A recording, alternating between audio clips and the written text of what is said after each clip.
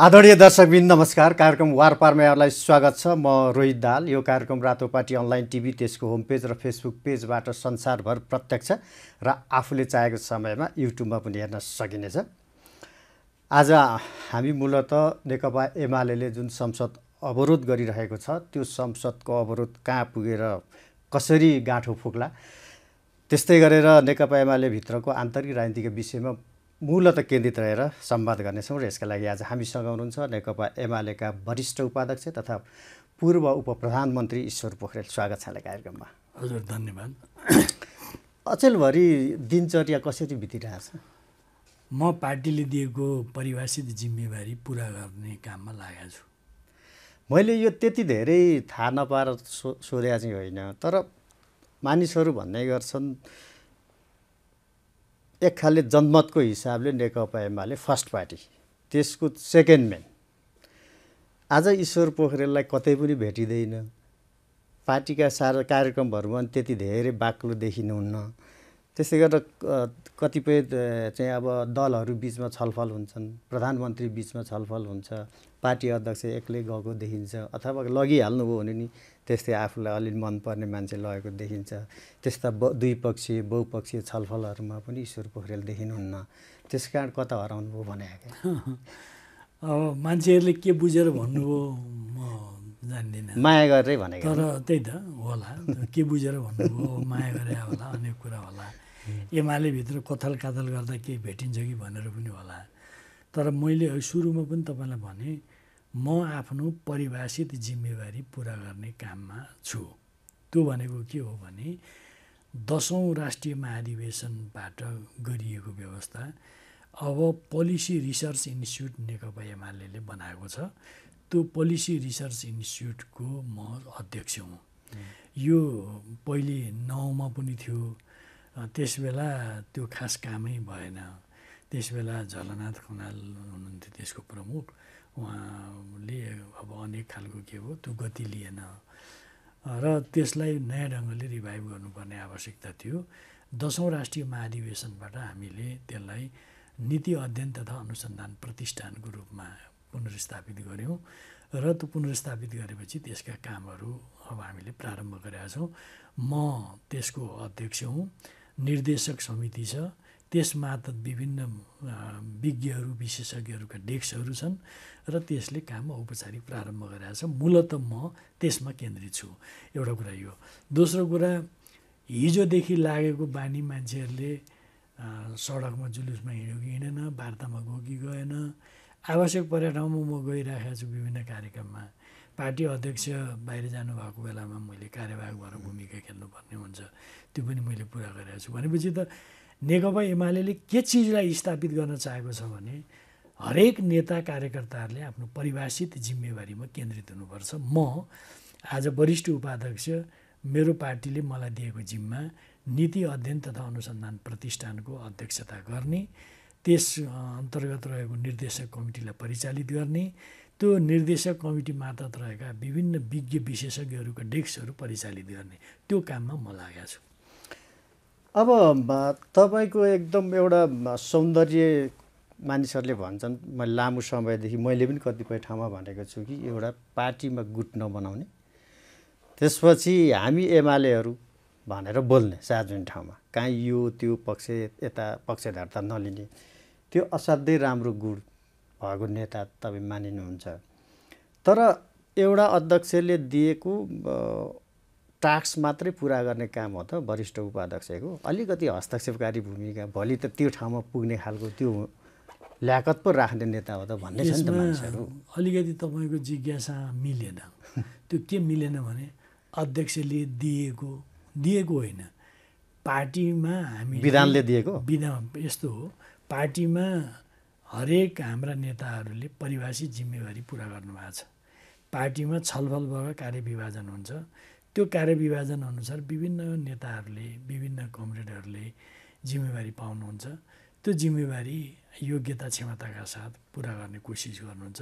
म पनि मैले पाएको त्यो जिम्मेवारी पुरा गर्ने कोसिस गर्दैछु। अलिअलि हस्तक्षेपकारी भन्ने हुँदैन त्यसो होइन हस्तक्षेपकारी अब सबैको जस्तो महासचिवले गर्ने काम विधानमै किटान गरेका छ। नीति अध्ययन तथा अनुसन्धान प्रतिष्ठानले गर्ने काम विधानमै किटान गरेका छ। त विधानमा किटान गरिएका कामहरू गर्छौँ हामी सबै। भनेपछि हाम्रो बिचमा समन्वय पनि हुन्छ। काम यो सामूहिक जिम्मेवारी बे के अरे व्यक्तिगत जिम्मेवारी सामूहिक रूपमा निर्णय हुन्छ व्यक्तिगत जिम्मेवारी अनुसार पुरा गर्नुपर्छ। हामी त्यसरी नै पुरा गर्छौँ। तपाईँकै शुभचिन्तकहरूलाई त तपाईँले जवाब दिनुपर्ने छ कि एउटा कारिन्दा जस्तो भएर किन बस्ने बस्नुहुन्छ उहाँ? जस्तै अलि विगतमा तपाईँलाई तितो लाग्ला तपाईँ निर्वाचित महासचिवलाई नेकपा बनाउने नाममा हटाइयो। कुनै व्यक्तिलाई ल्याएर राख्यो। तपाईँ त्यसमा कुनै प्रतिक्रियाविहीन हुनुभयो। तपाईँले अब चौहत्तरपछि सरकार बन्दाखेरि यो त देखिएको कुरा हो नि त। अर्थमन्त्री माग्नुभयो भएन परराष्ट्र मन्त्री माग्नुभयो भएन लगेर रक्षामा थन्कायो अन्तिममा लगेर त एउटा जर्नलको उसमा लगेर पनि राखियो। त्यसमा पनि तपाईँले स्वीकार्नु भयो यो यावत कुराहरू मलाई के लाग्यो भने रोहितजीले अहिले सोध्नुभएको मप्रति सहानुभूति देखाएर हो कि मसित गाँसिएका कुराहरू उछालेर यसो खेलोमेलो गर्न सकिन्छ कि भनेर पनि कतिपयले गरे होला म चाहिँ यसमा प्रष्ट छु। जस्तो हामीले नेकपा एमाले र माओवादी केन्द्र बिचमा जुन ऐतिहासिक र महान एकता गऱ्यौँ त्यो ऐतिहासिक र महान एकताको आफ्नै एउटा समीक्षाको पाटो छँदैछ होइन? अब गर्नु हुँदैन भन्ने मात्रै हुनुहुन्थ्यो गर्नु हुँदैन मैले कहिले त्यसरी जुन ढाँचामा गरियो। मैले मेरो त प्रष्ट कुरा के हो भने कम्युनिस्टहरू एकताबद्ध हुनुपर्छ मिल्नुपर्छ। विचारमा सुस्पष्ट बनेर सङ्गठनको मामलामा सुस्पष्ट बनेर नेतृत्वको मामलामा सुस्पष्ट बनेर मात्रै एकता गर्नुपर्छ। एकता भनेको पवित्र चाहना राखेर मात्रै पनि हुँदैन भन्ने मलाई लाग्ने। त आखिर भयो त त्यसमा त समीक्षाको पाटो छँदैछ होइन? त्यो एकता प्रक्रियामा कतिपय कुराहरू सङ्गति मिलेका रहेनछन् भन्ने खालको कुरा त तिन वर्ष बित्दा नबित्दा जे भोग्यौँ त्यसले नै पुष्टि गरिसकेको तपाईँले? जे भन्नुभएको थियो सुरुमा त्यही परिणाम निस्क्यो त्यसो पनि म त्यसो पनि म भन्ने मैले जे भनेको थिएँ त्यही प्रमाणित भयो भन्न चाहन्न। त्यस्तो त्यस्तो कुरा पनि भन्न चाहन्न। म के भन्छु भने हामीले जे ऐतिहासिक र महान कामहरू गरे हुन्छौँ त्यसको वस्तुनिष्ठ समीक्षा हुनुपर्छ। समीक्षाबाट निकालिएका निष्कर्षबाट निर्देशित भएर भविष्यमा अगाडि बढ्नुपर्छ। मैले यसरी बुझ्छु। र अर्को चाहिँ के हो भने म कारिन्दा भएर होइन म अहिले पनि म भन्छु परिभाषित जिम्मेवारी पुरा गर्ने कम्युनिस्ट पार्टीका हरेक नेता पार्टी अध्यक्षदेखि सबैले परिभाषित जिम्मेवारीमा केन्द्रित हुनुपर्छ। परिभाषित जिम्मेवारीमा योग्यतापूर्वक भूमिका खेल्नुपर्छ। परिभाषित जिम्मेवारीमा ध्यान केन्द्रित नगर्ने अनि दसतिर चाहिँ डुल्दै हिँड्ने चार्दै हिँड्ने हात बढाउँदै हिँड्ने गऱ्यो भने त्यो राम्रो हुँदैन। त्यस कारणले परिभाषित जिम्मेवारी पुरा गर्नुपर्छ भने मैले कम्युनिस्ट पार्टीमा लाग्दा सिकेको कुरा यो हो। जहाँसम्म हामी एमालेहरू त म के भन्छु भने त्यो मलाई राम्रो लाग्छ। किनभने हामी एमालेहरू त्यो एमाले ऊ त्यो एमाले ऊ त्यताको एमाले होइन। हामी एमालेहरू। म कर्नर कर्नरमा बसेका एमालेहरूलाई छुट्टा छुट्टै देख्न चाहन्न छुट्टा छुट्टै बुझ्न चाहन्न म सबै एमालेहरूलाई एकताबद्ध भएको एउटा शक्तिको रूपमा देख्न चाहन्छु। त्यस कारणले मेरो मनबाटै मेरो हृदयबाट नै त्यो सम्बोधन हुने हो। हामी एमालेहरू। वास्तवमा भन्नुपर्ने हर कोहीले भन्नुपर्ने कुरा यो हामी या- यो चाहिँ यो रङका एमाले त्यो रङका एमाले त्यो रङका एमाले होइन हामी एमालेहरू। भन्नुपर्छ भन्ने मेरो भित्रैदेखि लागेको कुरा मैले बोले बोले तर पार्टीमा त गुट नबनाइकन माथि नआउने जस्तो देखियो तपाईँ त गुटै बनाउनुहुन्न। कि त्यो गुटै मन पर्दैन कि तपाईँ मान्छे नभएर नबनाएको? मैले अघि भने एउटा कुरा भने परिभाषित जिम्मेवारीमा केन्द्रित हुनुपर्छ मैले भन्छु एउटा कुरा।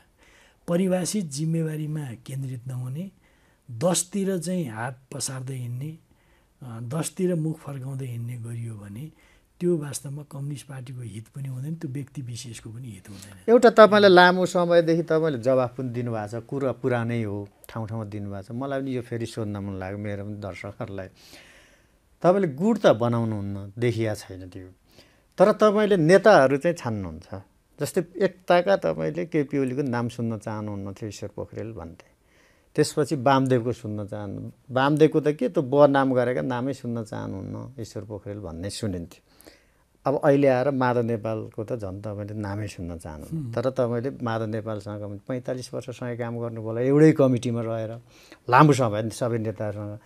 यो गुड त बनाउनु भएन नेता चाहिँ किन छान्नुहुन्छ उहाँले भन्ने खालको? एउटा स्ट्यान्ड एउटा तपाईँले भनेको शक्तिको वरिपरि मात्रै ईश्वर पोखरेल बस्नुहुन्छ भन्ने अर्थ पनि लाग्छ कि भनेर? एउटा कुरा के एउटा तपाईँले अहिले जिज्ञासा राख्दा मेरो पार्टीभित्र पनि छलफल चल्दा मैले बेला बेला भनेको छु। म कहाँ शक्ति केन्द्रित छ भनेर खोज्दै खोज्दै कहिले पनि आफूलाई त्यो ठाउँमा राख्न चाहिनँ मेरो ब्रह्मले जे देख्छ जे सही कुरा भन्छ त्यसको पक्षमा उभिएँ। एक। दोस्रो कुरो म संस्थागत कुराहरू जे हुन्छन् त्यसको पक्षमा उभिनुपर्छ भन्ने पक्षमा हो।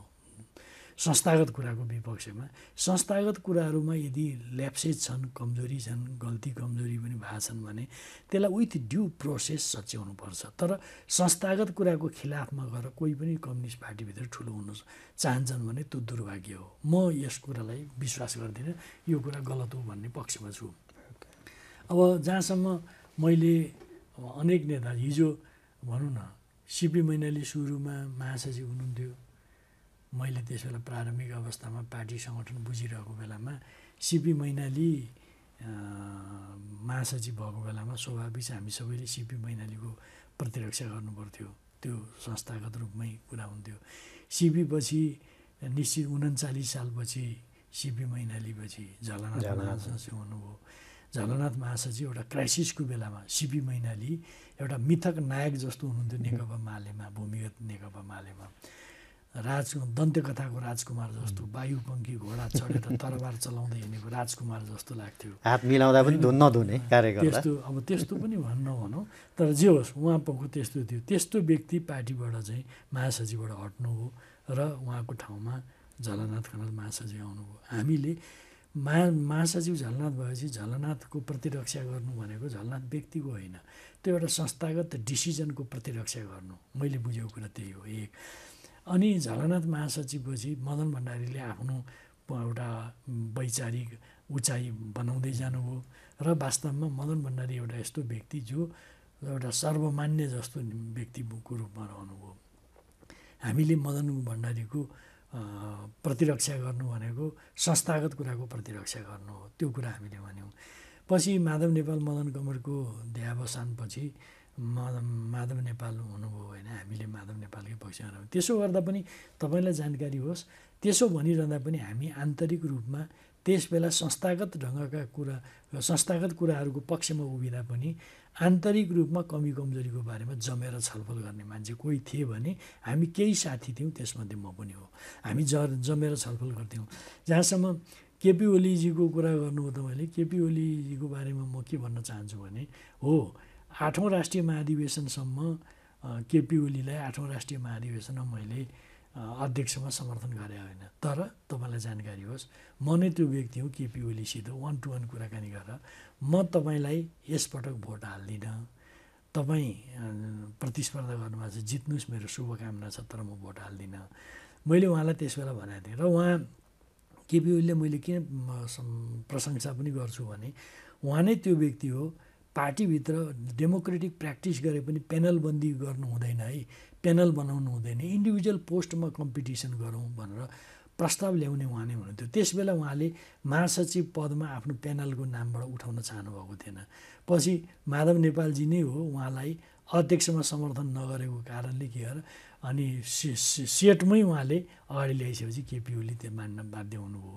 त केपी ओलीले त्यस बेला पनि पार्टीमा डेमोक्रेटिक प्र्याक्टिस गरौँ तर भर्टिकली ब्लक डिभिजन र ब्लक पोलिटिक्स गर्ने हिसाबले जानु हुँदैन ठिक छ बुझ्यो। यसलाई उल्ट्याएर बुझ उल्ट्याएर बुझ्दा राम्रो हुने रहेछ जो पार्टी प्रमुख हुन चाहन्छ अध्यक्ष हुन चाहन्छ त्यतिखेर महासचिव हुन चाहन्थ्यो होला नि तिनले चाहिँ बरु ईश्वर पोख पोखरेल खोजेका हुन् चाहिँ मिल्छ त्यो। त्यस पनि हो त्यसो पनि नभनौँ। तर एउटा कुरा जस्तो मैले एउटा प्रसङ्ग रमाइलो प्रसङ्ग भन्छु। एकपटक के भयो भने हाम्रो एकजना नेता अहिले नाम के लिइरहनु उहाँले यस्तै पार्टीमा गुट भनेको स्थायी हुँदैन कहिले को कतातिर कहिले को कतातिर हुन्छ आदि इत्यादि भन्दै मलाई भन्नुभयो। बरु हाम्रो मा म त्यस बेला महासचिव थिएँ महासचिव ईश्वर पोखरेल भने जहिले पनि संस्थापनको पक्षमा उभिनुहुन्छ भन्नुभयो। त्यो भन्नुभयो। मैले त्यो कस्तो इन्टरप्रिटेसन रह्यो भने म चाहिँ जहाँ शक्ति छ संस्थापन छ त्यसको पक्षमा त्यसैको समर्थनमा जान्छु। भन्ने जस्तो बुझ्यो। तर यथार्थमा मैले पहिलेदेखि फर्केर हेरेँ म जहाँ उभिएँ त्यो चाहिँ संस्थापन भएछ। ओके हो मैले यही जान्न खोजेको। अब अब चाहिँ मूल विषयमा यो अलिक व्यक्तिगत जस्तो भयो अनौपचारिक जस्तो। यति पनि यसो श्रोताले दर्शकलाई दिनु अब अहिले नेकपा एमाले संसद अवरुद्ध गरेको व्यापक विरोध छ मानिसहरू किन अवरोध गरेको? यो कहाँ गएर टुङ्गिन्छ? हामीले यो अवरोधको लागि अवरोध। इतिहास कायम जस्तो गरो होइन- संसद अवरोधमा। होइन यसमा यसले द संसदीय व्यवस्थामाथि नै प्रश्न चिन्ह उठाउने भयो भन्ने यसमा कुरा मान्छेले कुरा गरेका छन् तर के बुझ्नुपर्छ भने नेकपा एमाले मुद्दा आधारित भएर कुराहरू उठाउँछ। मुद्दा आधारित भएर जस्तो भनौँ पहिले पहिलेका प्रसङ्ग पनि छन् होइन। अहिले पनि हामीले के भनेको भने यति ठुलो घटना घट्यो। र यो अहिले प्रकट भएको मात्रै होइन सिरिज अफ यस्ता कुराहरू छन्। अनडिक्लियर कुराहरू पनि यस्ता छन्। वास्तवमा यो त लज्जाजनक। पुरै बेइज्जतीपूर्ण कुरा भयो। यो अन्तर्राष्ट्रिय रूपमै हामी चाहिँ बदनाम भयो। क्विन्टल सुन आउने त्यो त त्यो त देखिएको मात्रै हो। बाहिरै आएको कुरा के त भन्दा यो विगत कति महिनाभित्र चाहिँ कति रहेछ भन्ने त बाहिरै आएको छ भनेपछि त त यस्तो खालको घटनाहरू किन हुन्छ एउटा अचम्म के हो भने त्यही एयरपोर्टबाट दुई तोलाको सिक्री लिएर आउने विदेशी कामदार नेपाली काम कोही दा दाजुभाइ एउटा। मोबाइल। एउटा मोबाइल बोकेर आउँछन् छिराउन पाउँदैनन् ल्याउन पाउँदैनन् टिँ घन्टी बज्छ सारा सतर्कता तपाईँ हामीले एयरपोर्ट देखेका छौँ त्यहाँ सुरक्षा निकाय भन्सार अध्यागमन सारा चाहिँ निकायहरू छन् अनि त्यस्तो ठाउँमा एक क्विन्टल सुन त्यहीँबाट आउँछ त्यसको बारेमा थाहा पाइँदैन भनेपछि यो विषय त धेरै सिरियस हो नि। धेरै सिरियस हो। र नेकपा एमालेलाई लागेको के हो भन्दा यो सरकार पक्षमा रहेका मान्छेहरू सरकार सम्बन्धित सरकारमा रहेका मान्छेहरूको संलग्नता बिना वास्तवमा यो को भरिया दोलखाको को भरिया समातिए कहाँ कहाँ को ल्याए यस आधारमा मात्र यो पत्ता लागेको मान्नु हुँदैन। तर सरकारको एउटा अङ्गले समातेपछि त्यसलाई धन्यवाद दिन मिल्दैन। ठिकै छ एयरपोर्टमा विमानस्थलमा ल्याप्सेस भयो। तपाईँले भने। तर सरकारकै एउटा अङ्गले समातेपछि त किन समातेको? होइन भने जस्तो पो यो, होइन। समातियो त ठिकै भयो कि? समातेको बारेमा किन समातेको भनेको छैन। कुरो के हो भन्नुलाई भने त्यो त निस्किएको थियो कता कता चाँजो पाँजो भएर खुस्किएर त्यो चाहिँ गयो। आयो कसरी छिर्यो कसरी त्यहाँबाट? त्यो धेरै सिरियस कुरा हो नि। यो कुनै इक्क इक्के दुके घटना कुनै सामान्य चुई छिरी आएको कुरा मात्रै पनि होइन। यत्रो घटना छ। यो कुनै सरकारको मात्रै विषय होइन। हामी सबैको सबै नेपालीहरूको। अझ मुलुकमा पोलिटिकल लिडरसिपमा छौँ भन्ने नेपालमा रहेका हर कोहीले आम नेपाली नागरिकहरू देशभक्त नेपालीहरू सबैले यो विषयप्रति त्यति गम्भीरताका साथमा लिनुपर्ने विषय हो। यो त बरु यस्तो घटना हुने बित्तिकै के गरौँ होला भनेर प्रतिपक्षीहरूसित समेत छलफल गरेर टुङ्ग्यो पर्दा त तपाईँहरूको भनाइ चाहिँ यो एक क्विन्टल आयो समात्यो यो ठिकै भयो राम्रै भयो। तर यस्ता धेरै क्विन्टल आयो भन्ने आशंका हो। सवाल सुन समातिएर राम्रो भयो भन्ने त्यो सतही कुरा मात्रै नगरौँ।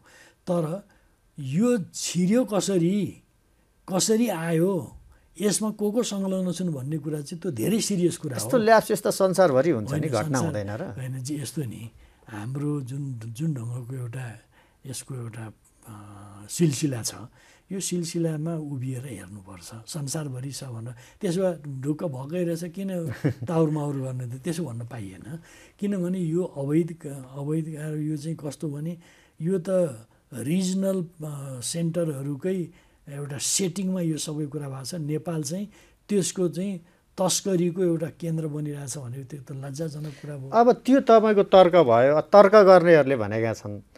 यो त एउटा देखाउने कुरा भयो एमालेको। यस्ता थुप्रै फाइलहरू खुल्दैछन् जहाँ एमालेसम्म पुग्छ एमालेको नेताहरूसम्म पनि पुग्छ। त्यस कारण यसलाई चाहिँ बार्गेनिङको टुल्स बनाइरहेछ एमाले। भन्ने तर्क सुन्नुभयो होला नि होइन? म म सुनेको छु तपाईँलाई सोध्न चाहन्छु तपाईँसित छलफल गर्न चाहन्छु। एमाले के को लागि बार्गेनिङ गर्ने? मान्नुहोस्। के एमाले संसदीय समिति खुत्रुक बनाऊ मात्रै आफ्नो पनि हिस्सेदारी हुन्छ दुई चारजना त आफ्ना पनि होलान्। अनि त्यहाँभित्र चलखेल गर्न पाइएला भने त होइन। उच्च स्तरीय एउटा यस्तो खालको समिति बनाऊ जो पूर्व प्रधान न्याय पूर्व न्यायाधीश रिटायर न्यायाधीश हुन् बालवाला न्यायाधीश हुन् र कुनै त्यसमा पोलिटिक पोलिटिक ती मान्छेहरू जो राज्यका अङ्ग छन् उनीहरूको पनि संलग्नता हुन्छ। उनीहरूको छानबिनमा भइरहेको गतिविधिमा नियन्त्रण गर्ने रोक्ने भन्ने त कुरै होइन। उनीहरू आफ्नो उयो प्रोसेसबाट गर्छन् नै। तर वास्तवमा यसको समग्रतामा छानबिन नगरिकन हुँदैन यो। यहाँ त के भने कुन राजनीतिक सेन्टरसित रिलेटेड मान्छे भन्ने कुरातिर नजाउँ न यो त मुलुकको समस्या भयो। यो मुलुकको समस्या भएको हुनाले यो समस्यालाई समाधान गर्ने एउटा उचाइबाट सोचौँ म चाहिँ म तपाईँलाई के भन्न चाहन्छु भने म यदि सत्ता पक्ष म प्रधानमन्त्री भएको भए म त प्र प्रमुख प्रतिपक्षीले यो कुरा उठाउँछ उसलाई समेत राखेर ल भन्नुहोस् के गरौँ। यो त कुनै कसैको व्यक्तिगत कुनै पार्टी विशेषको या प्रधानमन्त्रीको जित हारको मात्रै विषय बनाउनु हुन्छ यसलाई। यो त दे जित्दा देशले जित्ने हार्दा लज्जाबोध गर्नुपर्ने देशले लज्जाबोध गर्नुपर्ने कुरा हुन्छ। तर मानिसहरूको भनाइ छ नि यस्ता घटनाहरू हुनु हुँदैन ठिकै हो। तर घटनाहरू त तपाईँहरूले सरकारको नेतृत्व गर्दा पनि भए। तर घटना जति घट्दै जान्छन् एउटा घटना घट्छ प्रधानमन्त्रीको राजीनामा संसद अवरुद्ध। फेरि अर्को घटना घट्छ प्रधानमन्त्री। सस्तो भएन यो होइन सस्तो त भयो कि। जुन किसिमले नालायक कामहरू सस्तो ढङ्गले गरिँदैछन् यो त रिपिटेडली उठ्छ जस्तो भनौँ न। एकछिनलाई। प्रधानमन्त्रीजीको राजीनामाको कुरा गर्दाखेरि स्वयं प्रधानमन्त्रीले रोस्टरमा उभिएर के भन्नुभयो? त्यस बेला म बोल्दा दिवङ्गत छोरीको बुवा भएर बोलेछु प्रधानमन्त्री भएको बिर्सेछु प्रितम सिंहको कुरा? त्यही त। त्यस त्यस बेला प्रितम सिंहसँग सम्बन्धित कुरामा जुन विषय तपाईँले हामीले उठाएको कुरो भन्नुभयो साँच्चै भन्नुहुन्छ भने त्यस बेला पनि नैतिक हिसाबले कुरा गर्ने भने प्रधानमन्त्रीले प्रधानमन्त्री भएर बस्नु मिल्दैन थियो। तर उहाँले के भन्नुभयो? मैले प्रधानमन्त्री भएर मैले भुल गरेकै हो गल्ती गरेकै हो प्रधानमन्त्री भएर बोल्न बिर्सेछु मैले। म त दिवङ्गत पुत्रीको चाहिँ पिता भएर मात्रै बोलेछु भन्नुभयो। त्यहाँभन्दा के भन्नु भन्नुहोस् त? यत्रो गम्भीर कुराको बारेमा उहाँले जुन एउटा मुलुकको प्रधानमन्त्रीले त्यसरी बोलिसकेपछि उस्तै प्रधानमन्त्री भएदेखि गर्थ्यो गर्दैन थियो। त प्रतिपक्षीले यो कुरा उठाउनु पर्थ्यो हामीले भनेर होइन स्वयं उहाँले त्यहाँ उभिएर रोस्टरमा उभिएर रियलाइज गरेको त्यो वर्डहरू सम्झ सम्झनुहोस् त। मैले एउटा त्यो कुरा भने। दोस्रो कुरा भनौँ न अहिलेको अवस्थामा यस्तो अनियमित भएको छ। गृहमन्त्री फाइफुटी लागु लाग्यो हुनुहुन्छ। हामी त के भन्दैछौँ भने नि तमाम फाइलहरू जुन छन् ती सबै खोले हुन्छ। खोले हुन्छ। हाम्रो तर्फबाट ती खोलिएका फाइलहरूको बारेमा हाम्रो कुनै अब्जेक्सन हुने छैन। तर ती कुराहरू खोलिनु पऱ्यो तर त्यो खोल्ने भनेर उतातिर ढोल ढ्याङ्ग्रो पिटेर यताको कुरा छोप्न त पाइँदैन। यता आएको जुन नाकमुनि यत्रो घटना घटिया छ यसको बारेमा हाम्रो दाबी के हो भने सरकारमा संलग्न मन्त्रीहरू अझ भन्यो भने गृहमन्त्री स्वयंको जानकारी अर्थमन्त्रीजीको त्यसमा जानकारी कुनै न कुनै किसिमको सुइँको छ। त्यो चाहिँ अब भनौँ सरकारको मातहतको एउटा निकायले बालबाला एक्जिक्युटिभ मन्त्रीलाई बयानमा बोलाउला कि नबोलाउला? बोलाउन गाह्रो छ नि।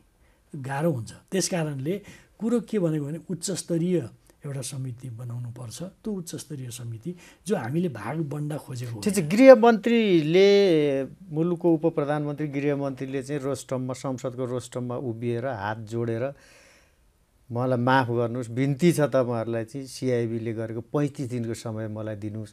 त्यसपछि कमजोरी देखिएछ भने गरौँला। भन्दाखेरि पनि नमान्नु भनेको त विश्वस्त राज्यलाई गर्नु पर्दैन। यसमा यस्तो नि। यो पैँतिस दिन हामीलाई के लागेको छ भने गृहमन्त्रीले त्यो पैँतिस दिन सिआइबीले छानबिन गर्छ भन्ने नाममा त्यो हामीलाई प्रमाण नष्ट गर्ने? हामीलाई शङ्का के छ भने किनभने धन्दा त त्यस्ता सिरिज अफ धन्दाहरू छन्। ती चिजहरू तलमाथि हुन्छन् भन्ने हामीलाई लागेको छ। हामी त समस्या जित्न होइन कि हामी समस्याको समाधान चाहन्छौँ। कुनै हामी जितेर एमाले जित्ने एमाले ठुलो हुने कुरा होइन। एमाले सही कुरा उठाउँछ सही कुरा उठाउँदा एमालेको प्रतिष्ठा बढ्छ भने बढ्छ। तपाईँकै पार्टीका एकजना नेता सम्मिलित संसदीय समितिमा के अरे करको विषयमा अर्थमन्त्रीको जुन काण्ड आयो जनार्दन शर्माजीको पालामा तपाईँकै पार्टीको एकजना नेता समितिमा बस्नुभयो। आखिर उहाँ जनार्दन शर्माजीले चाहिँ त्यसैले। सफाइ पाउनुभयो। त्यसैले। मुसाले तार काट्यो भन्नुभयो। त्यही उहाँले भन्नु अनि भने यस्तै हुन्छ नि समिति तपाईँले त्यही त्यही भनेर तपाईँले ठिक कुरा समाउनु भयो संसदीय समितिको पनि यो गम्भीर मुद्दाहरूमा संसदीय समितिको पनि त्यति प्रभावकारी भूमिका देखिएन। हामीले पहिलेदेखिका सम्झना गरौँ। पहिले दे सम्झना गऱ्यौँ भने देखिन्छ। त्यस कारणले यति गम्भीर विषय जो हाम्रो अस्मितामाथि हाम्रो हैसियतमाथि हाम्रो इज्जतमाथि हाम्रो स्वाभिमानमाथि प्रश्न उठेको छ। यस्तो विषयप्रति चाहिँ गम्भीर हुनुपर्छ सत्ता पक्ष प्रतिपक्ष सबै गम्भीर हुनुपर्छ त्यही गम्भीरताका साथमा समाधान गर्ने कोसिस गर्नुपर्छ पो भने त हामीले।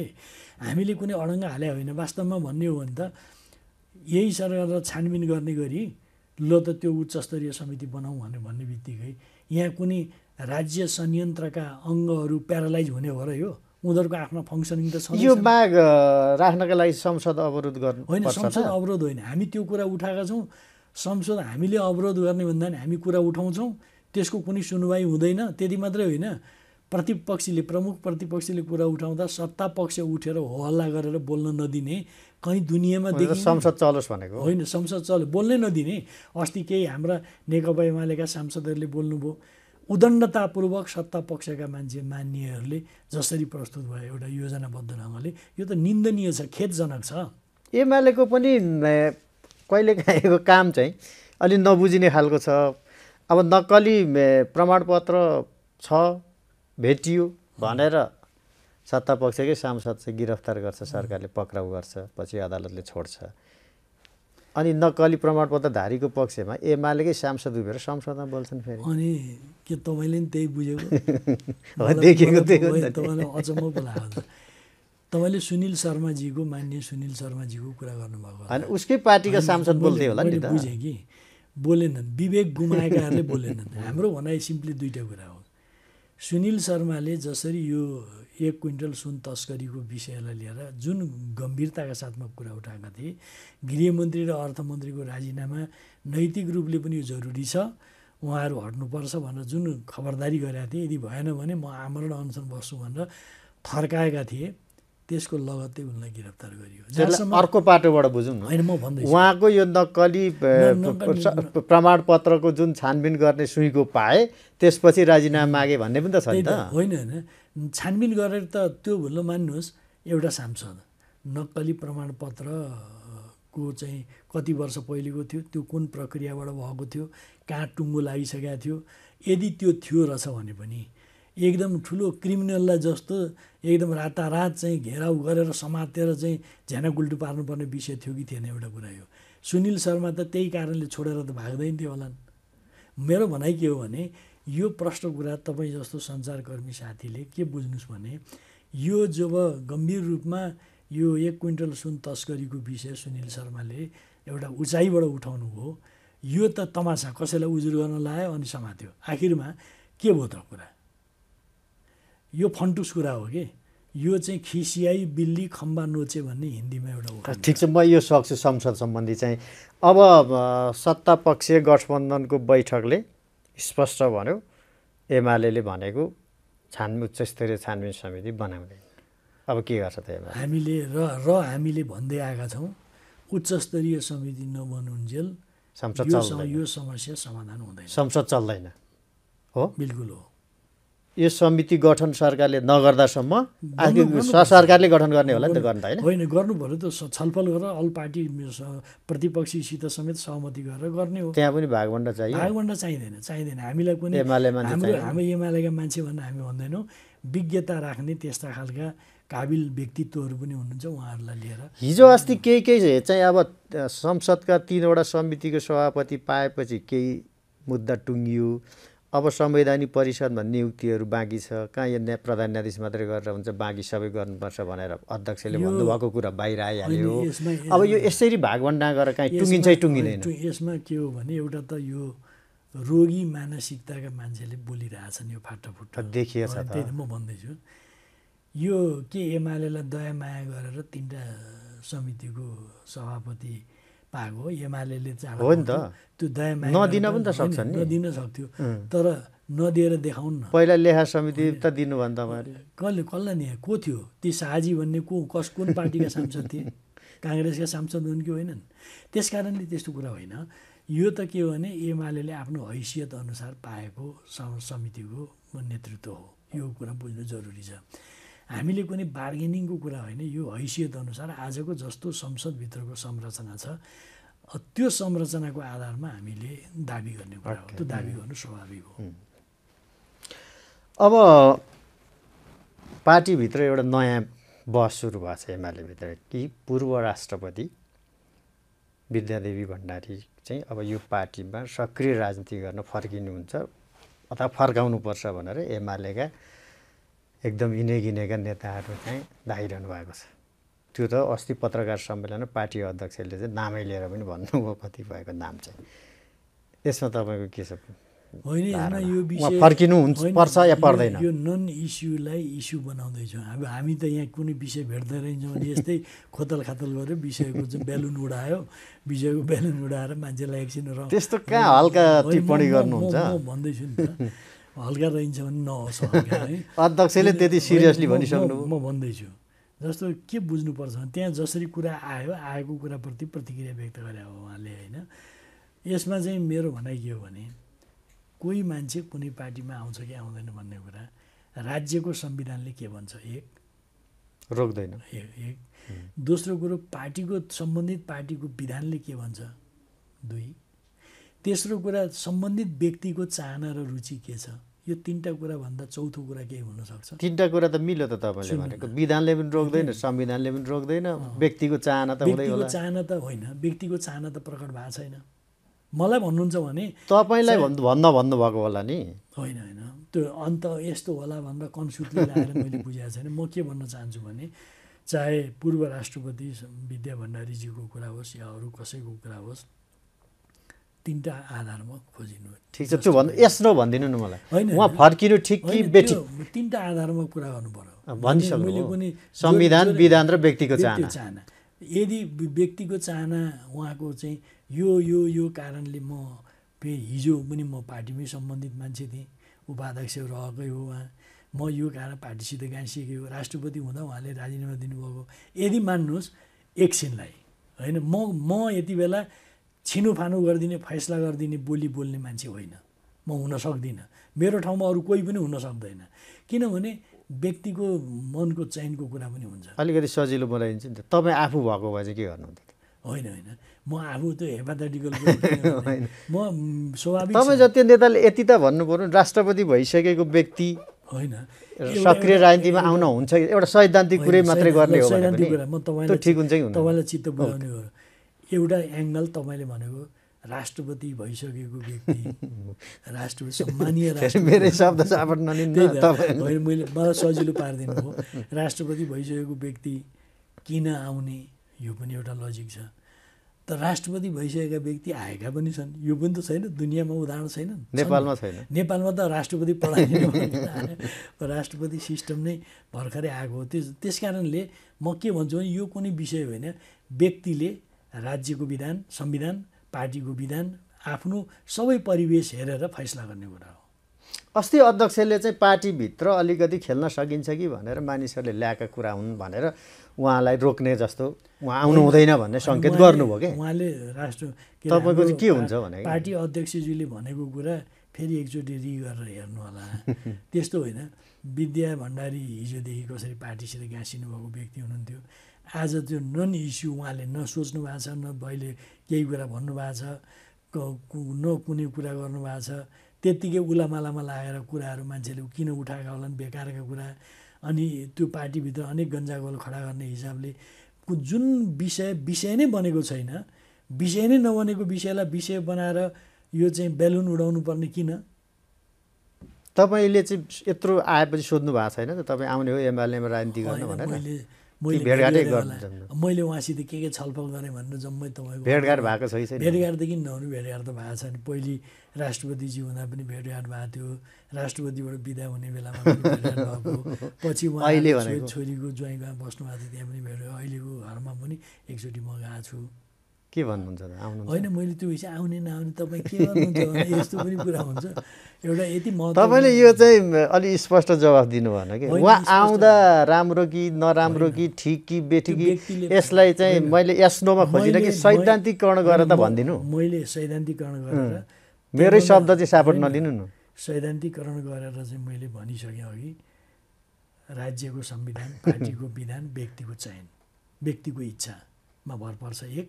दोस्रो कुरा आज उहाँसित गाँसिएर उठेको कुरा भएको हुनाले ठिक हुन्छ कि बेठिक हुन्छ भनेर मैले बोल्नु चाहिँ छिचरो कुरा हुन्छ।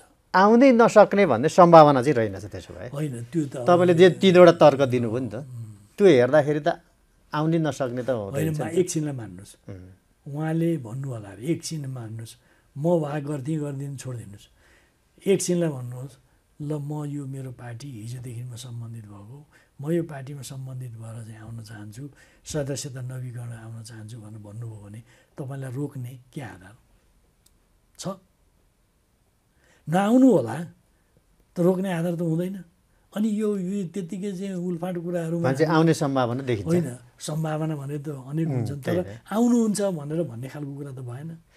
अब अहिले सत्तरी वर्ष उमेर हदबन्दी पनि हटाउनु भयो त्यसमा पनि तपाईँ अब तपाईँ चुप लाग्नुपर्ने त त्यो ठिकै हो किनभने तपाईँ पनि त्यही लाइनमा हो होइन? त्यो तपाईँका लागि ल्याएको हो पार्टी अध्यक्ष बन्नका लागि? त यो फेरि तपाईँलाई मैले के भन्छ कतिपय साथीहरू कुरा जान्न खोज्नुहुन्छ उठाउन खोज्नुहुन्छ कुराको सिलसिलेवार मेलो चाहिँ मिले है त्यो तपाईँले त्यो भनेको उत्तरसम्म किन सन्तुष्ट हुन्न भन्ने? उत्तर- तिनजना मान्छेलाई चाहिँ होइन, उत्तरमा- भित्र्याउनका लागि त्यो बुधा निलम्बन गर्ने भन्ने कुरामा कहाँ उत्तर? उत्तरमा प्रवेश उत्तरमा प्रवेश गरेकै छैन मैले। मैले के भन्न खोजेको भने एउटा त जस्तो तपाईँलाई जानकारी होस् म नौ राष्ट्रिय महाधिवेशनमा सङ्गठनात्मक प्रस्ताव प्रस्तुत गर्ने मान्छे म हो। केपी ओलीसित मिलेर आठौँ राष्ट्रिय महाधिवेशनमा पार्टीको लोकतान्त्रिकरण सम्बन्धी कार्यदलको सक्रिय सदस्य भएर काम गरे मान्छे हो। त्यो कार्यदलले दिएका निष्कर्षको आधारमा नेकपा एमालेभित्र लोकतान्त्रिकरणको अभ्यास प्रारम्भ भएको हो जसको संयोजक केपी ओली हुनुहुन्थ्यो। नौ राष्ट्रिय महाधिवेशनमा मैले नै सङ्गठनात्मक प्रस्ताव प्रस्तुत गरेको हो नौ र दसौँमा। नौ राष्ट्रिय महाधिवेशन प्रस्तुत गरिरहँदा पार्टी पार्टी जीवनको लोकतान्त्रिकरणको कुरा गरिरहँदा त्यस बेला हामीले दुई तिनवटा कुरा ल्यायौँ। अरू धेरै कुरा छन्। त्यसमध्ये लगातार एउटै व्यक्ति एउटै कार्यकारी पदमा दुई पटकभन्दा बेसी नबस्ने त्यसमा चाहिँ ब्रेकिङ गर्नुपर्छ ब्रेक दिनुपर्छ भन्ने एउटा कुरा। दोस्रो कुरा उमेरको पनि हद न युवा पुस्तालाई पार्टीमा नेतृत्वमा ल्याउनको लागि सत्तरी वर्षको सीमा एउटा कार्यकारी सत्तरी वर्षपछि कार्यकारी हैसियतले काम गर्न नै अप्ठ्यारो हुन्छ भनेर राखेकै हो। त्यो प्रस्ताव गर्ने मान्छे मै हो एक। त्यस बेला सर्वसम्मतिले नै हामीले पास गऱ्यौँ त्यसमा केही कुरो भयो यसमा म अलिकति सच सच्याउँदा के भन्नु मलाई त थाहा भएन काट्ने कुरा चाहिँ। त्यहाँ चाहिँ तपाईँ राख्न चाहनुहुन्न थियो घनश्याम भूषाल योगेश भट्टराई लगायतका पनि त्यहाँ थिए। तिनीहरूले चाहिँ प्रेसरले गर्दा राख्नुभयो भन्ने पनि छ। तर तपाईँ आफ्नो स्वा गरेको कामको पनि स्वामित्व नलिने नेता पर्नुभयो फेरि। समस्या चाहिँ। यो पार्टीले गरेको हो। तर- तर एउटा कुरा के भने तपाईँले बे बेठिक राख्नुभयो। म भनिहाल्छु नि। त्यही त। किनभने यहाँ तपाईँसित भन्दा ती कोही सुरवीरहरूले ल्याएका थिए र हामीहरूले चाहिँ उनीहरूले ल्याएको पछि लाग्यो होइन। त्यो प्रस्तुत गर्ने सङ्गठनमा प्रस्ताव बनाउने मान्छे म। त्यो बुधा राख्ने पनि म हो। त्यसै। स्वामित्व लिदिनु त्यही न त होइन त्यही त। मैले भनिहालेँ नि। त्यो प्रस्ताव गर्ने मान्छे म हो। र त्यसको दृढतापूर्वक पक्ष पोषण गर्ने मान्छे म हो। अब अहिले हटाउँदा किन चुप अनि हटाउँदै के तर हामीलाई के हो भने त्यो पास गर्ने बित्तिकै अब एउटा चेतना पनि मान्छेको स्वाभाविक ढङ्गले अगाडि बढ्छ नि। अभ्यासले सिकिन्छ अभ्यासले सिकिन्छ ठिक भन्नु हो कुरो के हो भने वास्तवमा उमेर भनेको अब सरदर आयु बढिरहेको छ। उमेरको सीमाको चाहिँ पोलिटिकल सेन्स हुन्छ कि हुँदैन भन्दा वास्तवमा पोलिटिकल सेन्स हुँदैन उमेरको। अब पचास वर्ष पचपन्न वर्षपछि कोही अलिकति नसक्ने पनि होलान् साठी वर्षपछि नसक्ने होलान् कोही सत्तरी वर्षपछि पनि होलान्। त्यो त प्रतिस्पर्धा योग्यता र क्षमता देखाएर श्रेष्ठता हासिल गर्ने जब विचार हामीले बोकेका छौँ अनि उमेरको बन्देज लगाएर यो गर्नु उचित हुन्न भन्ने हामीलाई तत्क्षणदेखि नै लाग्यो। पास त गऱ्यौँ लाग्यो। हाम्रो बिचमा त्यो छलफल पनि चल्दै थियो। यही बिचमा हिजो नेकपा एमालेमै रहनुभएका कमरेडहरू पार्टीमा आउने हुनुभयो। आउने भइसकेपछि के गर्ने त्यो त बाधा सत्तरी वर्ष क्रस गरिसक्नु भएको छ भनेपछि त्यो व्यवस्थालाई निलम्बन गरेको हो। यो निलम्बन गरिएको अवस्था चाहिँ कतिपय साथीहरूले बाहिर भन्नुभएको छ त्यो साथीलाई छिराउन्जेल निलम्बन गरियो फुत्त छिर्नु फेरि जस्ता तस्तै ब्लक ढोका लाग्यो होइन निलम्बितै छ त्यो। त्यो निलम्बितै खारेज पनि होइन खुलेको पनि छैन। निलम्बन त्यो निलम्बनको रिपोर्ट कहाँ हुन्छ त भन्दा आउने विधान। अधिवेशनमा हामी त्यो निलम्बन गरिएको कुराको पनि सविस्तार जानकारी गराउँछौँ। यदि विधान अधिवेशनले त्यसलाई त्यो निलम्बन गरेको कुरा ठिक हो भन्यो भने नयाँ कोर्सबाट जान्छ। होइन निलम्बन गर्नु ठिक थिएन त्यो वास्तवमा सत्तरी वर्ष राख्नुपर्छ भन्यो भने हुन्छ विधान अधिवेशनको सुप्रिम पावर हो त्यसमा ठिक छ यो उमेर हदबन्दी हटाउँदाखेरि अलिकति बाटो खुलो होइन तपाईँलाई पनि अब? बाटो खुलो होइन एउटा एघारौँ महाधिवेशनमा चाहिँ पार्टी अध्यक्ष हुनका लागि तपाईँलाई ढोका त खुलो नि। मैले त्यो ढोका खोलेर नखुलेको नखुलेको हिसाबले कहिले हेर्दिनँ। मैले तिनवटा कुरा हेर्छु। एउटा कुरा के हो भने त्यस बेलाको आवश्यकता के हुन्छ? देशभरिका कार्यकर्ताहरूको माग के हुन्छ? त्यो आवश्यकता माग के हुन्छ त्यो हेर्नु पऱ्यो र परिस्थिति कस्तो हुन्छ? त्यस आधारमा त्यत्तिकै ताउरू माउरू गरेर मात्रै पनि हुँदैन। यो चिज ख्याल नगरिकन कोही मान्छेले पनि म चाहिँ यो नेतृत्वको यो सेटमा फलानु यो सेटमा फलानु यो सेटमा भनेर जानु उचित हुँदैन। अहिले त एमालेमा त त्यस्तै त छ नि। होइन पार्टी अध्यक्षले फलानु यहाँ फलानु यहाँ फलानु यहाँ भनेपछि त त्यो त्यसको आशीर्वाद प्राप्त गर्नु तपाईँले हाम्रो अध्यक्षको भूमिकालाई प्रभावकारी छ भनेर बुझेर बोलेको बुझेर। दसौँ महाधिवेशनमा म पनि गएको थिएँ नि। होइन तपाईँ जानुभएको थियो तर तपाईँले त्यहाँ त हामी त दसौँ आदि महाधिवेशनमा त फुल हाउसले फुल अथोरिटी यो सबै कुरा गरिसकेपछि टिम बनेर अध्यक्ष मण्डलले यो सबै कुराको आएका सुझावको आधारमा अध्यक्षले प्रस्ताव गर्ने ठिक छ म यतातिर अब विगतको कुरा म जान्न। अब कतिपय मानिसहरूले भन्छन् कि अब पूर्व राष्ट्रपति चाहिँ एमालेमा फर्किने सम्भावना बढी भयो धेरै लबिङ पनि भइसक्यो। केही स्थायी समितिकै एकजना नेताले त बाहिरै भन्नुभयो उहाँ आउँदा पार्टी एक ढिक्का हुन्छ भने चाहिँ एमाले एक ढिक्का छैन भन्ने पनि अर्थ भयो। त्यो गर्नका लागि चाहिँ अब पूर्व राष्ट्रपति विद्या भण्डारी विरोधी मान्छेहरू चाहिँ अलिक सक्रिय बनाउनु पऱ्यो भन्ने अध्यक्षलाई लागेर भीमरावसँग भेट गर्नुभयो हिजो अकस्मात। यो पनि तपाईँहरू यो कहाँ कहाँ तार जोड्नुहुन्छ? मैले तार बिजुली बल्ने ठाउँमा मात्रै तार जोड्नु न नबल्ने ठाउँमा तार जोडेर के घाम जस्तो भनौँ न। यत्रो म- वर्ष भन्दैछु भीमजीको के हो भने अलिकति तपाईँले दुई अलिक थोरै सुन्नुहोस्। के हो भने भीमजी अब हाम्रो पुरानै साथी हो होइन? अब दसौँ महाधिवेशनमा म थिएँ भन्नुभयो तपाईँले त देख्नुभएकै होला होइन?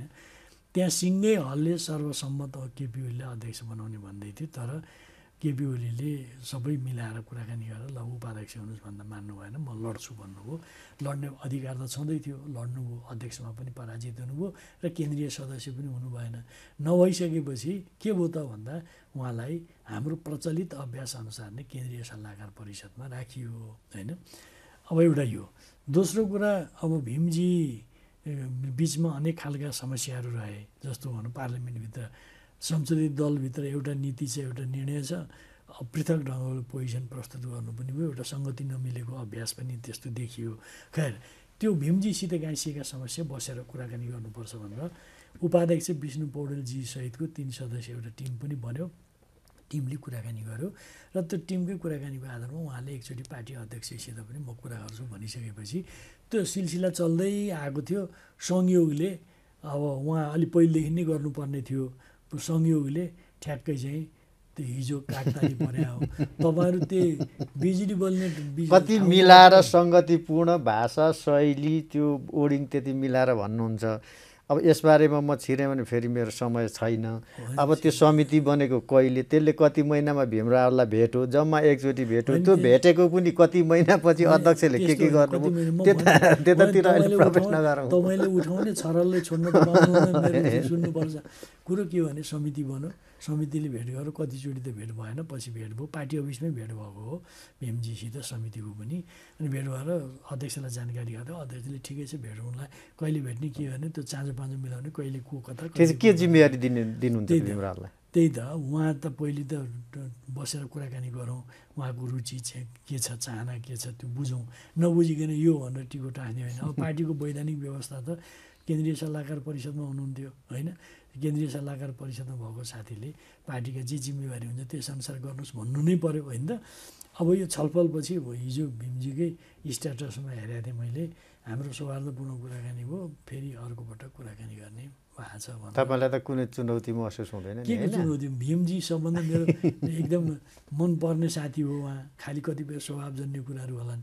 मनपर्ने पुरानो साथी कुरा मिल्ने कोण जोड मिल्ने त्यस्तो साथी त्यस्तो हो। र? हो नि त। ओके। अब यो संसदको अवरोध चाहिँ एमाले सरकारमा उक्लिने एउटा खुड्किलोको रूपमा यसलाई लिँदा हुने भयो होइन होइन तपाईँहरू कहाँ हुनुहुन्छ? मलाई चाहिँ यही अचम्म लाग्छ। ठाउँमा चाहिँ हुनु पर्यो। होइन प्रधानमन्त्रीले राजीनामा गर्नु पर्यो गृहमन्त्री अलिअलि केही काम गर्दै थिए सबभन्दा उनकै चाहिँ चर्को स्वरमा अनि अहिले राजीनामा माग्नुहुन्छ। गृहमन्त्री अनि प्रधानमन्त्री हटेपछि त अनि एमाले सरकारमा जाने यस्तो हो नि यो कुनै बाटो खुलेन? यो चाहिँ त्यो उहाँका लमजुङमा दौडेर राजा हुने जस्तो कुरा पनि होइन। नेकपा एमाले यति बेला सरकारमा जाने होडमा दौडमा छैन। प्रश्न कुरा हामीले के भन्छौँ भने यति बेला जे व्यथिति छ त्यो व्यथिति सच्चिनु पऱ्यो एक। दोस्रो कुरो एमाले सुदृढ हुनु पऱ्यो एमालेमा कतिपय समस्याहरू छन्। हामी त लगभग एउटा क्राइसिसको बिचबाट हामी यो ठाउँमा आयौँ। हामीले अझै विचारका प्रश्नमा नि कतिपय कुरा मिलाउनु छ। सङ्गठनका प्रश्न मिलाउनु छ। हामीले नेतृत्वको प्रश्न कतिपय मिलाउनु छ। हामीले प्रदेश अधिवेशन जिल्ला अधिवेशन पालिका अधिवेशन स्थानीय तहका अधिवेशनहरू गर्ने एउटा सेड्युल हामीले सार्वजनिक गरेका छौँ। भनेपछि त हामी आफू सुदृढ हुने अभियानमा छौँ मिसन दुई हजार चौरासीको टार्गेट गरेर हामी जाँदैछौँ। भनेपछि यति बेला सरकार भन्ने त कुनै हामीलाई चिन्ता चासो छैन। जो होडमा छन् लार्जेस्ट पार्टी पनि अर्को छ जो होडमा छन् उनीहरू छलफल गरून्। त्यसमा हामी व्यथितिका कुराहरूलाई छोड्दैनौँ यो चाहिँ हो। भनेको कङ्ग्रेससँग एमाले मिलेर सरकार बनाउने एमाले र कङ्ग्रेसको बन्ने भन्ने तहमा नि त कुरा भइरहेकै छ होइन, नि त। कुरा त- त्यो राम्रो हुन्छ भन्ने त तपाईँले पनि कतिपय ठाउँ सङ्केतै गर्नुभएको छ। सङ्केत म अहिले पनि भनिदिन्छु नि त तपाईँलाई। अहिले के भन्छु भने माओवादी मन नपर्यो त तपाईँलाई फेरि त्यो यो गाउँले गाउँले जेठा माइलाहरूको मन अमेलिएको जस्तो होइन। भन्दा पनि राजनीतिक भन्दा पनि माओवादीसँग त तपाईँहरूको चाहिँ एक खालि पर्सनल इगो जस्तै भयो नि गठबन्धन बनाउनु भयो छोडेर हिँडिदिएको छ हिजो कता गएको छ अनि माओवादीसँग त तपाईँको त राजनीतिक रूपमै पनि टसल भएर पनि यो आएको त देखिन्छ नि त। अघि भने नि गाउँले जेठा माइलाहरूको झै झगडा जस्तो बुझ्नु भएन यो होइन? यसलाई त्यस्तो होइन। माओ त्यो एकताको बारेमा पनि मैले अघि भने फेरि त्यसलाई नदोहोऱ्याउँ हामीहरू के हुन्छ जस्तो काङ्ग्रेससित यथार्थ कुरा के हो भने नेपालमा भएको परिवर्तन के हो त भन्दा युरोपमा सामन्तवादको विरुद्धमा पुँजीपति वर्गले गरेको क्रान्ति जस्तो पनि होइन। रुसमा सर्वा र श्रमजीवी वर्गले पुँजीपति वर्गको विरुद्धमा गरेको समाजवादी क्रान्ति जस्तो पनि होइन। चिनमा सामन्तवाद दलाल नोकरसाही पुँजीवादको विरुद्धमा कम्युनिस्ट पार्टी र राष्ट्रिय पुँजीपति वर्ग मिलेर गरेको जनवादी क्रान्ति नौलो जनवादी क्रान्ति जस्तो पनि होइन। हाम्रो देशमा सर्वहारा श्रमजीवी वर्गको प्रतिनिधि कम्युनिस्ट पार्टी र उदार पुँजीवादको प्रतिनिधि नेपाली काङ्ग्रेसको बिचमा सहकार्य भएर हामीले ठुल्ठुला परिवर्तनमा हामी सहकार्य गरेका छौँ। राष्ट्रिय सङ्कटमा पनि सहकार्य गरेका छौँ। तर राज्य सञ्चालनमा प्रतिस्पर्धा गर्दा हाम्रो बिचमा अस्वस्थता पनि प्रकट हुने गरेको छ। यो हाम्रो विगत हो। नेपाली काङ्ग्रेससित म यो तपाईँको कार्यक्रम मार्फत भन्छु नेपाली काङ्ग्रेससित नेपालका कम्युनिस्टहरूको दुई आयामिक सम्बन्ध छ। दुई आयामिक। एउटा पक्ष के हो भन्दा हामीले सहकार्य गरेको पाटो पनि छ अर्को प्रतिस्पर्धा गरेका छौँ प्रतिद्वन्दिता गरेका छौँ जो अनहेल्दी हुने गरेको छ। यो दुइटै पाटो छ। त्यस कारणले जब जब मुलुकमा सङ्कट पर्छ सङ्कट परेको बेला मेजर पोलिटिकल पार्टीको हैसियतले कमन मिनि कमन ग्राउन्डमा उभिएर त्यो सङ्कटलाई समाधान गर्न कोसिस गर्नुपर्छ भन्ने हाम्रो जहिले पनि रहेको चाहे तपाईँ छयालिस सालको जनआन्दोलनको कुरा गर्नुहोस् होइन? हामीले त्यही बेला पनि त्यही आन्दोलनको मात्रै किन? सरकारमै पनि सहकारी भएको छ। कतिपय अहिले पनि मैले के भन्छु भने अब माओवादीका विसङ्गत विषयहरूको घोडा बनेर काङ्ग्रेस हिँडिरहन्छ भने त दुर्भाग्य हो। होइन भने त काङ्ग्रेसले आफ्नो हैसियतलाई कमसेकम काङ्ग्रेसले बुझ्नु पऱ्यो माओवादी भन्दा कङ्ग्रेसलाई राम्रो होइन देख्नुहुन्छ त्यो त्यो पनि भएन। तपाईँले चुट्टो चुट्टो सोध्नु होइन? त्योभन्दा त्यो राम्रो यो कोरिबाटी गरेको पुतली जस्तो कुरा गरे होइन मैले। मेरो भनाइ के हो भने कतिपय भ- प्रासङ्गिक विषयहरू हुन्छन् होइन? लोकतन्त्रलाई प्राप्त गर्ने त्यसलाई सुदृढ गर्ने मामलामा क्राइसिस आएको बेलामा काङ्ग्रेससित हाम्रो ब्रोडर अन्डरस्ट्यान्डिङ पनि। तपाईँहरूबाटै लोकतन्त्र अपहरित हुन लाग्यो संविधानको रक्षा हुन सकेन संविधान अपहरित भयो भनेर यो गठबन्धन बनेको। अनि फेरि लोकतन्त्रको रक्षा संविधानको रक्षा सुदृढीकरणको लागि फेरि कङ्ग्रेस मिल्ला त तपाईँहरूसँग एउटा त के भने कतिपय कुरा अहिले घालेमाले गरेर फन्टुस कुराहरू पनि बाहिर आइरहेका छन्। ती फन्टुस कुराले तपाईँ हामीलाई पनि होइन? जस्तो भनौँ न हामीले म अहिले सबै सम्झिन्छु सिरिज अफ इभेन्ट सम्झिन्छु। पुष्प- पुष्प- साक्षी दुइटै हो नि। पुष्पकमल दाहाल प्रचण्डजी एउटा यस्तो व्यक्ति हो। नेकपा एमाले र माओवादी हो। काङ्ग्रेससित संयुक्त सरकार छँदैछ। त्रिसा त्रिहत्तर सालमा। संयुक्त सरकार हुँदाहुँदै काङ्ग्रेससित छोडेर माओवादीसित के अरे एमालेसित चुनावी तालमेल। त्यति मात्रै होइन पार्टी एकता गर्नेसम्मको कुरा गर्नुभयो तर सरकारमा ती हुनुहुन्थ्यो। हो? उहाँहरू ती हुनु अब यो। म लामो गरिदिनु छोटो गर्छु। अनि लो नि त चुनावी तालमेल गरौँ। साझा चुनाव चिन्ह साझा उम्मेदवार साझा घोषणापत्र भनेर सहमति गरेर उठ्नुभयो एमाले खुसी भयो राम्रो होला। किनभने एमाले त राम्रो मात्रै सोध्छ नि त। अनि खुसी भयो। त्यसको दुई दिन तिन दिन पनि बित्न नपाउँदै उहाँ प्रचण्डजी नै पुष्पकमल दाहालजी नै हो। साझा घोषणापत्र र साझा उम्मेदवार हुने भयो। साझा चुनाव चिन्ह चाहिँ नहुने भयो भनेर आउनुभयो। हामीलाई त्यहीँ चाहिँ उहाँले चाहिँ मार खुवाउनु भयो एक। दोस्रो कुरा मङ्सिरमा चुनाव भयो फागुनसम्म सरकार बन्दैन। किन बन्दैन? अचम्म भयो। बहुमत आइसक्यो तर पनि बन्दैन। अनि त्यस्तो अवस्थामा पछि हामीले थाहा पायौँ उहाँ त काङ्ग्रेससित पाँच वर्ष प्रधानमन्त्रीमा तमसु गर्दै हुनुहुँदो रहेछ। हामीले थाहा पायौँ। त्यही थाहा पाएपछि हाम्रो पार्टी अध्यक्ष केपी ओलीले सरकारमा सामेल हुने पार्टी एकता गर्ने कुरामा सहमत हुन्छ भने म जे कुरा पनि स्वीकार गरिदिन्छु भनेकै हो। प्रधानमन्त्री त्यो चाहिँ पार्टी एकता हुनु पऱ्यो र सरकारमा सामेल हुनु पऱ्यो भनेकै हो। मैले भन्न खोजेको कुरा के भने पुष्पकमल दाहाल प्रचण्डजी जुनसुकै बेला जुनसुकै कुरा गर्न पनि अप्ठ्यारो नमान्ने हिज नहिचकिचाउने जेसुकै पनि गर्नुहुन्छ। तपाईँहरू पनि स्वीकारिरहने हामी त के भने बेला बेलामा एकजना साथीले भन्दै थिए यो एमाले गर्न चाहिँ गर्छ बेला बेलामा घिउ लाटो जस्तो हुन्छ भन्नु आज भन् भन्दै थिएँ। मैले जवाब दिएँ हामी त्यस्तै घिउ लाटो जस्तो त होइन। तर बेला बेलामा हाम्रो इमान्दारिता हाम्रो सोझोपनालाई दुरुपयोग गर्ने कोसिस भएको छ खास गरी पुष्पकमल दाहाल प्रचण्डबाट। ओके अब म एकदमै अन्तिममा टाइम मेरो घड्किनिसकेको छ एउटा प्रश्न। अहिले तपाईँको यो जुन एमाले बनाउनका लागि तपाईँले तिस एकतिस तेत्तिस सालदेखिको जुन सङ्गठनमा काम सङ्गठनात्मक रूपमा काम गर्नुभयो भूमिगत बसेर तपाईँ जुन अहिलेको प्रदेश छन् त्यतिखेर अहिले पनि तपाईँ मध्य प्रदेशमा एमालेका सबैभन्दा लोकप्रिय नेतामा पर्नुहुन्छ किन भनिन्छ लामो समय त्यहाँ बस्नुभयो अथवा देश दुनियाँ सबै ठाउँमा गएर सङ्गठन गर्नुभयो। तर त्यो अनुसारको भूमिका चाहिँ अहिले देखिएन। अब के गर्नु त? म जहाँ छु मैले सकेको। मेरो योग्यता क्षमता इमानले जति कभर गर्छ त्यही कभर गरेको भूमिकामा मैले पुरा गर्नुपर्छ। होइन? त्यस कारणले अब कोही दिनै ईश्वर पोखरेल लिने ठाउँमा? त्यस्तो पनि होइन। मेरो आफ्नो स्वभाव छन्। ती स्वभावका लिमिटेसन छन्। होइन? ती मेरा आफ्ना स्वभाव छन् स्वभावका सीमाहरू छन्। तपाईँसित आफ्नो स्वभाव होला तपाईँको आफ्नो सीमा छ। हामी आफ्ना स्वभाव र सीमाका बिचमा हुन्छौँ नि त। त्यस कारणले त्यो मेरो स्वभाव र सीमाले कति मलाई एक्सपोज गरेका छ कति गरेका छैन कति हुनुपर्ने जति भएको छ कति छैन होइन त्यो त विवेचना गर्ने कुरा हो। अब अहिले चाहिँ यो फाइलहरू जसरी खोलिरहेको छ हिजो तपाईँको त्यो विगत इतिहास भूमिगत कालदेखि मैले भनिरहेको छु बारम्बार त्यो मैले भर्खरै पढ्न नि पाएको हुनाले पनि हो। का एक कार्यकाल अथवा एक कालखण्डमा एमालेको नेतृत्व ज जसले गरिरहनु भएको थियो यस्ता भ्रष्टाचारका फाइलहरू खोल खोल्दाखेरि एकैजना एमाले पनि परेको समाचार पनि आउँदैन थियो प्रमाणित पनि हुँदैन थियो। तर अहिले जुन फाइल खोलो ठुलो त्यो एमालेका मान्छेहरू काहीँ न काहीँ जोडिने स्थिति आउ आउँछ भनेपछि नेतृत्वले संरक्षण गरेपछि मात्रै पार्टीका नेता कार्यकर्ता भ्रष्ट हुँदो रहेछन् भन्ने कुरा चाहिँ अहिलेको एमाले त्यस्तो। हेरिन्छ नि। प्रमाणित कुरा हो नि त्यो तपाईँको सूचना बुझाइ अलिकति सच्याउनु पर्यो। किन सच्याउनु पर्यो भने कृपया। होइन जस्तो भनौँ पहिलेदेखि नै खास गरी बहुदलीय व्यवस्था आइसकेपछि शासन सञ्चालनमा रहेका विभिन्न पार्टीहरू छन्। नाम काङ्ग्रेस सम्झिनुहोस्। काङ्ग्रेसका को को नेताहरू को को मन्त्रीहरूको के हालत भयो? एक। एमाले पनि शासन सत्तामा रह्यो। एमालेको कहाँ कहाँ के के भएको छ? कुन कुन समाचार पत्रिकामा आउँछ त्यो छोडिदिनुहोस्। तर औपचारिक ढङ्गले ती कुराहरू कहाँ कहाँ छन्? के के छन्? के के भएका छन्?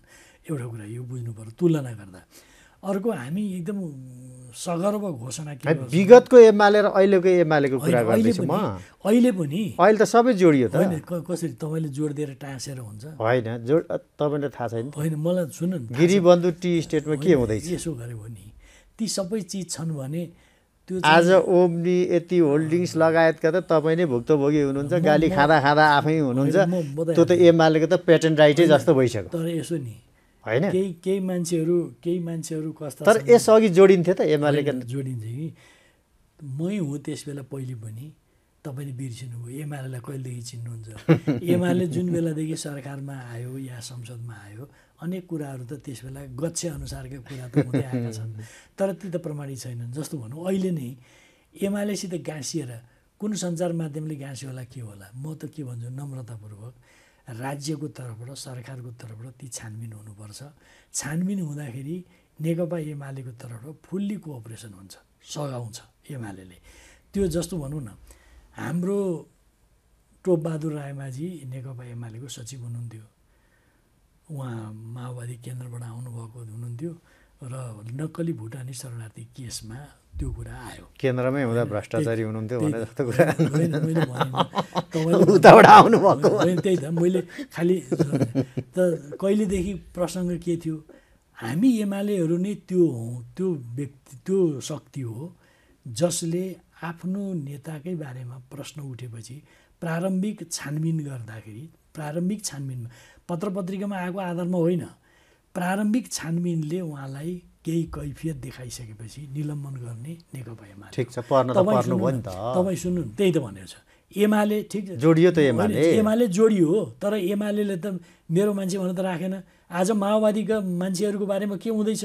तपाईँसित त उठाउन सक्नुहुन्छ? काङ्ग्रेसका मान्छेहरूसित के हुँदैछ? हामीले त किन नउठाउनु मैले भन्न खोजेँ काङ्ग्रेसको गृहमन्त्रीहरू सम्झना गर्नुहोस् त।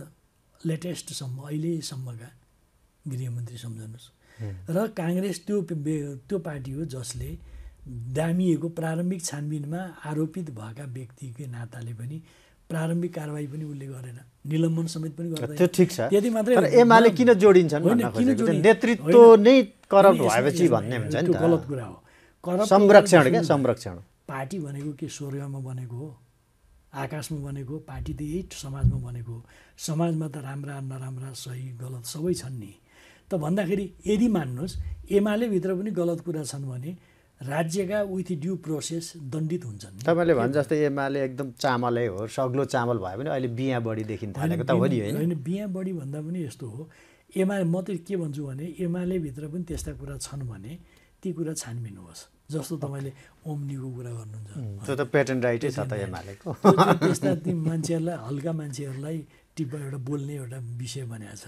म त के भन्छु भने तपाईँको पनि जानकारीको लागि। तपाईँले धेरैचोटि भन्नु धेरैचोटि भनेको छु। तपाईँले सोध्नुभयो मैले भन्नुपर्छ। त्यो ओम्नी भन्ने विषय जो हामीसित गाँसिन्छ नि। अझ तपाईँसँगै त्यो त पाखण्डीहरू हुन् तिनीहरू। म त भन्छु पाखण्डीहरू हुन्। किनभने त्यो स्वास्थ्य सेवा विभागको डाइरेक्टर जो सहसचिव लेभलको हुन्छ उनको क्यापेसिटीमा निर्णय गर्छ। मन्त्री परिषदले दिएको विशेष निर्देशनको आधारमा स्वास्थ्य मन्त्रालयलाई त्यो स्वास्थ्य सेवा विभागको डाइरेक्टरले निर्णय गर्छन् होइन? अब तिन पटक गरेर सामग्री ल्याउने भने बारेमा विस्तृत त्यो तपाईँ जोडिएको व्यक्तिगत भनेको। तपाईँ सिसिएमसीको त्यतिखेर प्रमुख भएको हुनाले हो। नाता भयो त्यसको? सिसिएमसिसी त सामान ल्याउनेको के नाता भयो सामान ल्याउने स्वास्थ्य मन्त्रालय। स्वास्थ्य मन्त्रालयको पनि कानुनी प्रक्रियाबाट मन्त्री परिषदको निर्णयको आधारमा गर्छ। अनि सिसिएमसीको नाताले मलाई ताकी ताकी ढुङ्गा हान्नुपर्छ। तपाईँ कोभिड नियन्त्रणको त्यत्रो प्रमुख। भइसकेपछि कोभिडकै ल्याएको ल्याएको सामान त अब त्यो कता कता जोडिदियो होला नि त। या त या त लाटागाँडाले सोध्ने कुरा हो या पूर्वाग्रहीले सोध्ने कुरा हो। कुरा के हो भने नि तपाईँ भन्नु न सम्बन्धितै न तिन न तेह्रको सम्बन्ध।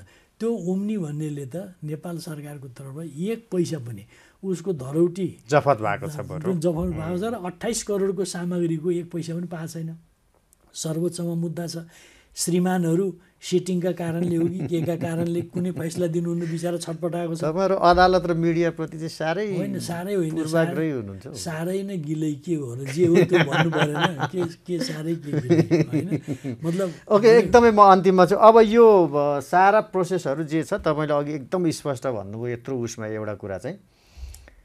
यो उच्च स्तरीय छानबिन समिति नबनिकन बने नबन्दासम्म संसद चल्दैन। र एमाले कुनै बार्गेनिङ लेना देनामा यो छोड्दैन। हामीले यति बिल्कुल त्यही हो नि त। हामी कुनै बार्गेनिङको लागि गरिरहेको फेरि गिरिबन्धुतिर जोडिएला कि के जोडिएला कि भनेर फन्टुस कुरा हुन् गिरिबन्धुको यदि केही छ भने कुन बन्धु हरिबन्धु श्यामबन्धु छ भने पनि गरे हुन्छ। होइन? गरे हुन्छ। के प्रक्रिया मिल्या छ कि छैन? यदि मान्नुहोस् कोही एउटा त त्यो बेकारको कुरा हो। यदि रहेछ भने पनि त गरे भयो नि त। गरे भयो त्यसमा केही समस्या भएन नि। त्यो छानबिन गर्न त राज्यले पायो नि। अनियमित व्यतिथिको कुरा छ भने सबै छानबिन गरे भयो होइन। यहाँ तर छानबिन गर्ने नाममा नौटङ्की गर्न त पाइँदैन। तपाईँ भन्नु न सिआइबीले छानबिन गरेको प्रारम्भिक रिपोर्टको आधारमा माओवादी केन्द्रका नेताहरूको खलकै सहित भनेको छ केही गर्दैन। यो गठबन्धन यो अपराधिक योजनाका साथ बनेको गठबन्धन हो देशघाती गठबन्धन हो एमालेको मात्रै विरोध होइन। लोकतन्त्रलाई समाप्त पार्ने गठबन्धन हो। ज दुर्भाग्य के हो भने काङ्ग्रेस जस्तो पार्टी जो यसमा लटपटिएको छ यो बडो दुःखद कुरा छ। हस् एकदमै महत्त्वपूर्ण समयका लागि धेरै धेरै धन्यवाद हस् धन्यवाद। आज हामीले छलफल गऱ्यौँ संसदको गतिरोध यो कहाँ पुगेर कसरी टुङ्गिएला त्यस्तै गरेर नेकपा एमालेभित्रको आन्तरिक राजनीतिको विषयमा केन्द्रित रहेर छलफल गऱ्यौँ र यसका लागि आज हामीसँग हुनुहुन्थ्यो नेकपा एमालेका वरिष्ठ उपाध्यक्ष तथा पूर्व उप प्रधानमन्त्री ईश्वर पोखरेल। कार्यक्रमको निर्धारित समय सकिएको छ। बिदा दिनुहोस्। नमस्ते।